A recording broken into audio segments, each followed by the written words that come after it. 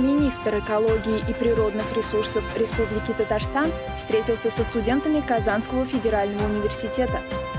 Все больше и больше приходим к тому, что наши предприятия э, берут на работу уже как штатную единицу экологов. Исследования казанских ученых. Как давление влияет на аморфные сплавы. Выяснилось, что данный материал он является устойчивым, он сохраняет свои интересные перспективные свойства на большом интервале давлений.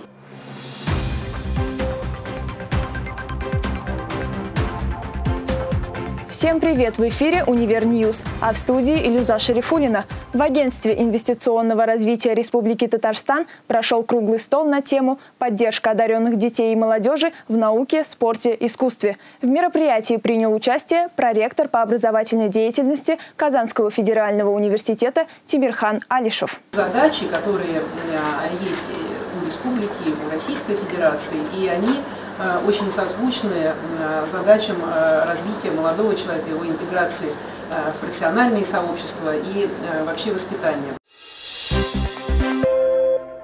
Министр экологии и природных ресурсов Республики Татарстан Александр Шадриков провел лекцию для студентов Института экологии и природопользования Казанского университета. На встрече со студентами Казанского университета Института экологии и природопользования Александр Шадриков рассказал об основных направлениях деятельности Министерства, будущем трудоустройстве студентов и особенностях взаимодействия с университетом. Все больше и больше приходим к тому, что наши предприятия э, берут на работу уже как штатную единицу экологов. Это не то, что требование, это необходимость на сегодняшний день.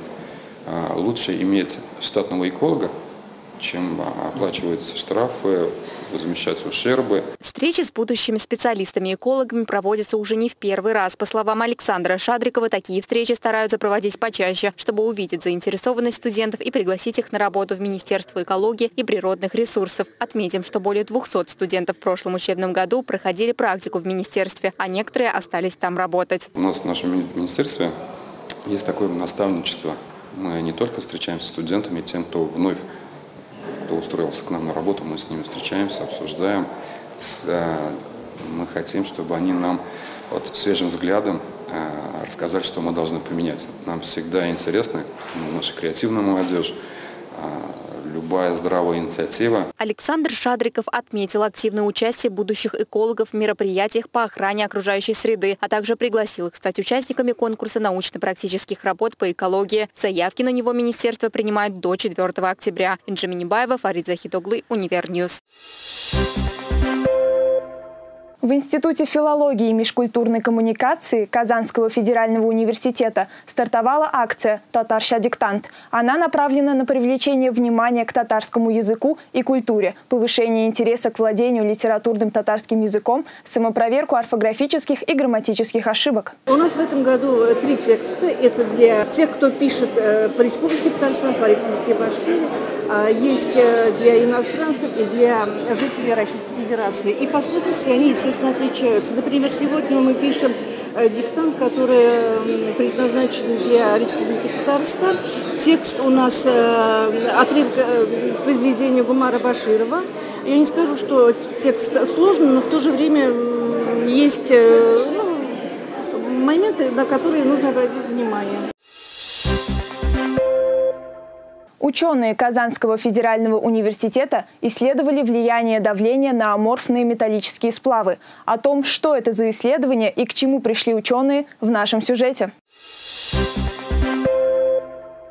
точки зрения физики, любая вещь, предметы, которые нас окружают, это материал. Физико-химические свойства любого материала определяются структурой и взаимодействием атомов и молекул. Для того, чтобы знать конкретно, как себя ведет материал в зависимости от тех или иных воздействий, ученые проводят соответствующие экспериментальные численные исследования. Сотрудники Института физики Казанского федерального университета изучили, как ведет себя такой перспективный материал, как сплав никеля и необия, в зависимости от внешнего давления. Выяснилось, э, что данный материал он является устойчивым, он сохраняет свои интересные перспективные свойства на большом интервале давлений.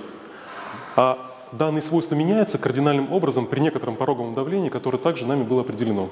Уникально в данном исследовании то, что большая часть результатов была получена именно на компьютере. Это был не реальный, а компьютерный симуляционный эксперимент. Ученые проводили моделирование, запускался определенный алгоритм, выполнялись определенные расчеты. Рассматривалась реакция этого сплава на самые разные давления, начиная от малых до сверхвысоких. Оказалось, что на большом интервале давлений материал реагирует практически одинаковым образом. Но начиная с некоторого порогового значения, физические свойства данного материала меняются кардинальным образом. Почему же выбор ученых остановился именно на сплаве никеля и необия? Дело в том, что а, не все а, аморфные металлические стекла хорошо удерживают аморфное состояние. В основном они э, трехкомпонентные, то есть из трех и более компонентов.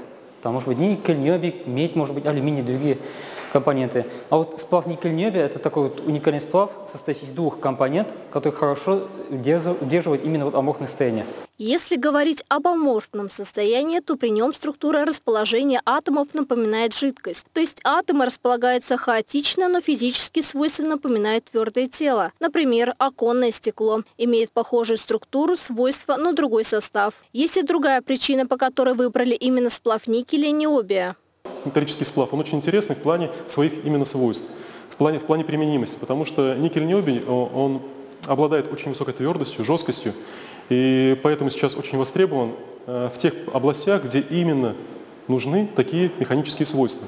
Результаты исследования представлены в статье, опубликованной в журнале Journal of Non-Crystalline Solids. Елизавета Никитина, Фарид Захитаглы, Univer News.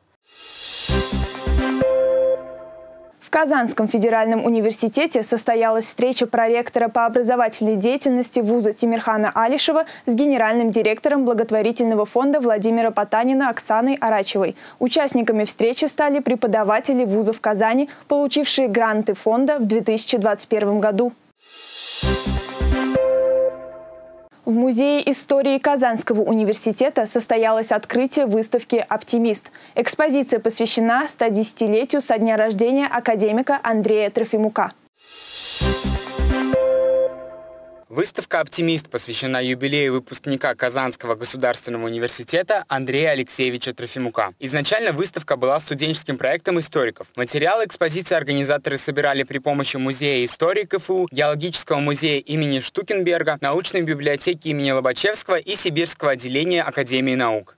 Здесь э, собраны документы, оригиналы документов, фотографии очень интересные фотографии, которые описывают его жизнь. Вот э, сохранились фотографии, которые с его молодости, с тех времен, когда он начинал работать в Башкирии, занимался нефтью, газом. В день открытия выставки посетителям музея показали документальный фильм о герое выставки. Про начало его профессионального пути, учебу на геологическом факультете, работе в нефтегазовой отрасли. В 1929 году Трофимук поступает в учебное заведение. К этому времени он уже уверен в том, что будет геологом. Во время учебы Трофимук сразу начинает работать в научно-исследовательской лаборатории. После окончания Казанского университета в 1933 году Трофимук около 10 лет работал в Башкортостане. Объектом его исследований являлась нефтяная геология. Автором выставки является студент-историк Института международных отношений. По его словам, экспозиция является продолжением музейной студенческой практики. Почему оптимист? Э, вопрос очень частый. Э, оптимист потому, что Андрей Алексеевич, несмотря на все проблемы, несмотря на все какие-то сложности, трагедии, он всегда старался смотреть на вещи с позитивной стороны, всегда старался продолжать это дело, несмотря на то, что все уже отказывались от этого, он продолжал развивать э, нефтедобычу в тех местах, где уже все от этих э, скважин отворачивались. Это далеко не первое мероприятие в КФУ, посвященное Трофимуку. Например, в августе этого года у здания Института геологии и нефтегазовых технологий состоялся памятный митинг в честь юбилея академика. Роберт Хасанов, Фарид Захитаглы, Univer News. Казань-Экспо завершает работу девятый международный форум «Россия. Спортивная держава». С 2009 года он ежегодно объединяет более трех тысяч человек – олимпийских чемпионов, представителей частного бизнеса, экспертов спортивной индустрии и просто неравнодушных зрителей. Эстафету спортивных мероприятий примет национальный фестиваль «Мир спорта», который отправится со спортивной державы по десяти городам России. На этом все. В студии была Илюза Шарифулина. Сюжеты из выпуска ты сможешь найти в наших социальных сетях, а также на сайте телеканала. До новых встреч!